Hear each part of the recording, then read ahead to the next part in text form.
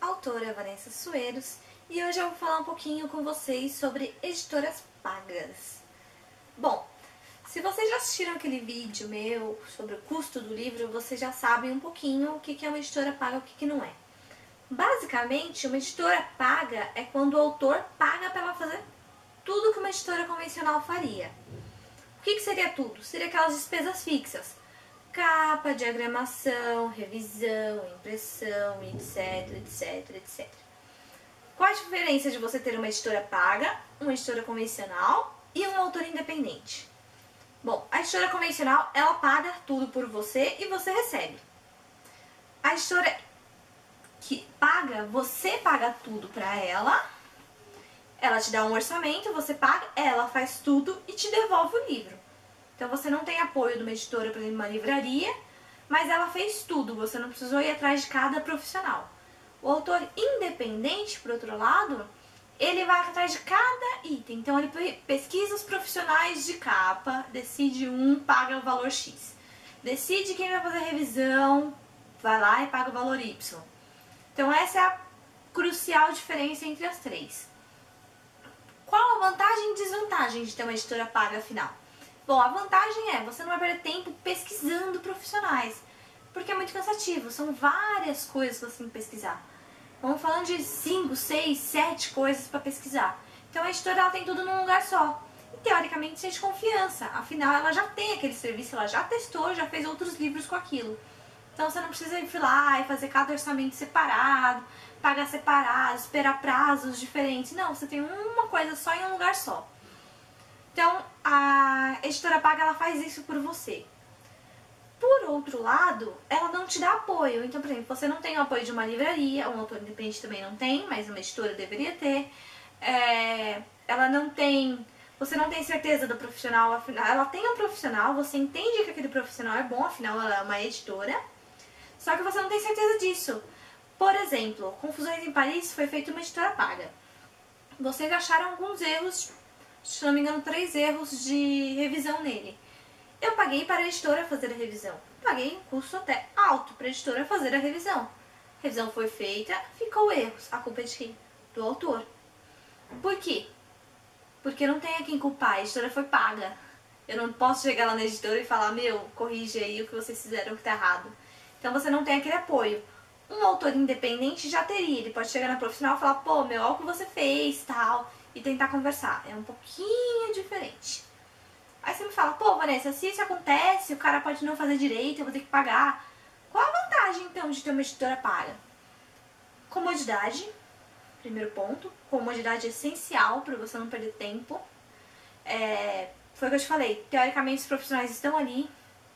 Dependendo da editora paga, você tem algum subsídio. Por exemplo, tem editora que tem uma, uma stand no Bienal ou tem parceria com alguma editora que tenha.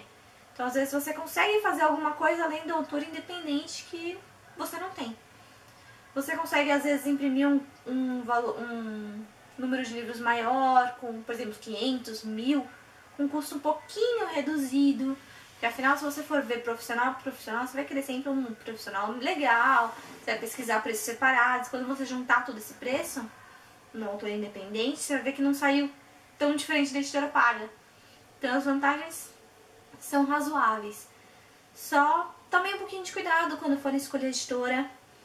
Tem editoras editoras, tem editora que você paga tudo e esqueça, o livro é aquilo e pronto, como se tivesse saído numa gráfica. Ela não vai olhar mais pra sua cara, não vai te perguntar nada, não vai saber de nada, não vai ter apoio nenhum.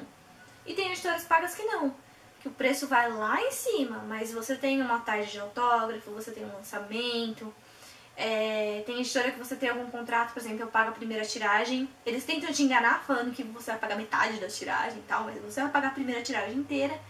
E dependendo de como for as vendas, se você atingir aquelas metas, sinceramente quase ninguém atinge, mas é uma possibilidade. Se você atingir as metas da editora, você consegue a segunda, terceira e quarta edição gratuita.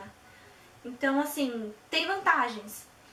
Por exemplo, não vou citar nomes, mas tem umas editoras que fazem assim, ah, se você vender em 40 dias, 300 cópias, o resto a gente, a gente cobre tudo, publica mais mil livros, por exemplo, sem custo do autor. claro que eles vão publicar sem custo. Já, você já pagou a capa, já pagou a revisão, já pagou a diagramação, eles só vão pagar a gráfica. Mas mesmo assim, 45 dias, 40 dias para vender 300 exemplares, geralmente você é um autor que não é muito conhecido, é uma coisa muito difícil. Não adianta contar com família, com amigos, cada um vai lá e comprar um livro, você vai vender 50, 60, não vai vender 300. Só se você realmente já tiver um nome no mercado. Então, assim, tem vantagens na editora paga? Tem. Tem desvantagens? Também tem. Procurem com cuidado o que, que você quer para o seu livro. É, você tem tempo para pesquisar todos os profissionais? Não tem? Você quer uma lista mais qualificada?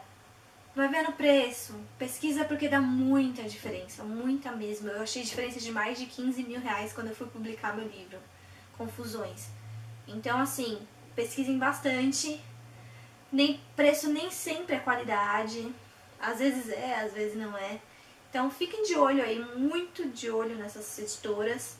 Algumas são muito pilantras, outras não, outras são até que confiáveis. Algumas elas têm alguns truques, né, como esse que eu falei de vender tantos livros. São metas que você tem que estudar muito bem, porque talvez você não consiga atingir. O que, que vai acontecer se você não conseguir atingir? Vale a pena aquele risco de atingir ou não atingir a meta? Pensem com cuidado. É uma boa alternativa, mas tem que ser muito bem pensada. E aí uma pergunta que todo mundo me faz é por que, que um autor independente vai para essa editora, né? Por que, que ele não escolhe logo de cara a editora que paga tudo por ele? Bom, gente, essa pergunta é muito simples de responder, pode parecer besta, mas é porque editoras grandes que realmente patrocinam tudo, é muito difícil de entrar. Imaginem que tantos de escritores que tem, tantos de livros que tem, e o tanto que essas editoras estão dispostas a gastar com autores nacionais, com autores desconhecidos. Então, a, a, a ideia de entrar numa editora dessa é maravilhosa, só que você dificilmente consegue. Quem consegue, meu, parabéns, vocês são de parabéns. Não sei se foi sorte, se foi QI, se foi é, realmente o talento da pessoa, mas nem sempre a pessoa consegue. E para ela conseguir, ela tem que ter nome. Muitas vezes é muito mais fácil você entrar numa editora grande já tendo nome de autor. Ah, esse autor vende, esse autor é conhecido. Então o autor geralmente faz essa publicação independente justamente para isso, para ficar conhecido. Então, vocês leitores, blogueiros, etc., ajudem. Até a próxima.